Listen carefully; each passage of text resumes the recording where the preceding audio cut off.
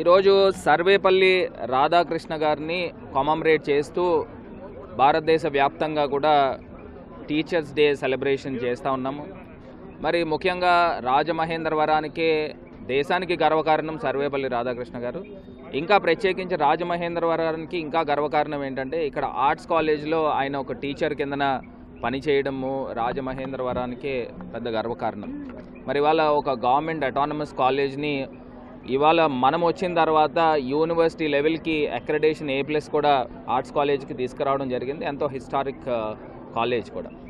మరి ఇవాళ uh, పిల్లలందరికీ కూడా ఒకటే మెసేజ్ ఇస్తున్నాము.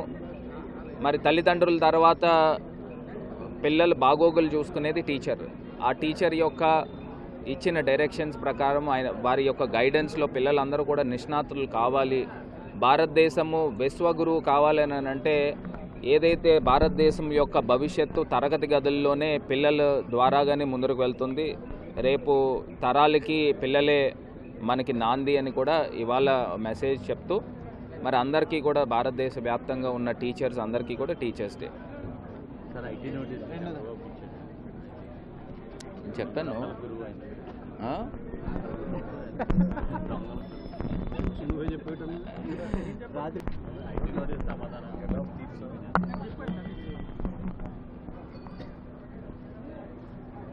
ఈ రోజున చంద్రబాబు నాయుడు గారు మేము గతం నుంచి చెప్తా ఉన్నాము. ఆయన పెద్ద స్కాములకే స్కాముల రాజా అని. మరి ఎన్నో హైకోర్టు నుంచి స్టేలు తెచ్చుకొని సుమారుగా పద్దెనిమిది స్టేలు తెచ్చుకొని మరి వాళ్ళు తప్పించుకొని తిరుగుతూ ఉన్నారు.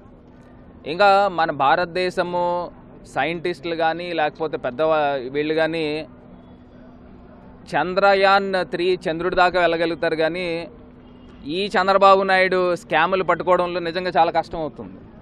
అంటే అన్ని టక్కుటమార గోకర్ణ విద్యలు అన్నీ కూడా ఈయనకు ఉన్నాయి.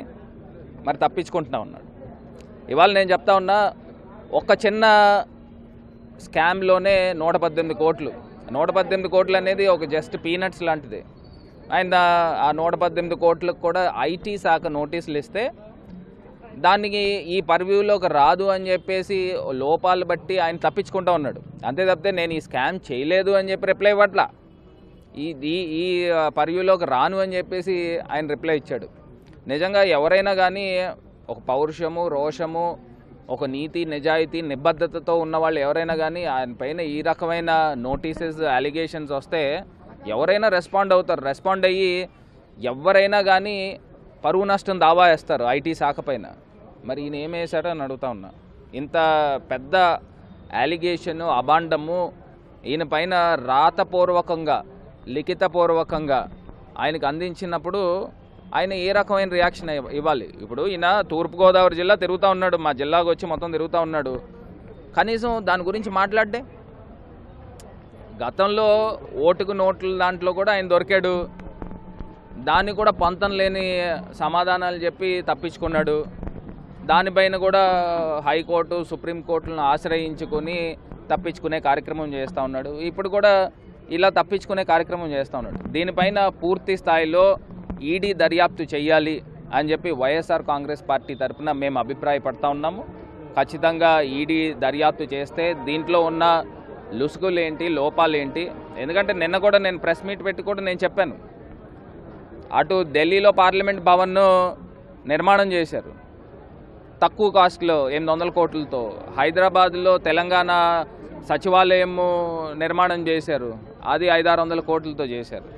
ఈయన రేకుల షెడ్లు వేల కోట్ల రూపాయలతో మరి కడతా ఉన్నాడు ఇక్కడ ఉన్న సచివాలయం. అది కూడా టెంపరీకి. ఒకసారి ప్రజలను అన్నీ కూడా గమనించి మనం కోరుతా ఉన్నా ఇది ఒక్క చిన్న ఏజెంట్కి సంబంధించి నూట పద్దెనిమిది కోట్ల రూపాయలు ఒక ఫైనాన్షియల్ ఇయర్. ఇంకా ఈ నాలుగు ఫైనాన్షియల్ ఇయర్ ఆ ఏజెంట్ ద్వారా ఈయనకి ఎంత ముడుపులు అందినాయి ఇంకా ఎంతమంది ఏజెంట్లు ఉన్నారు.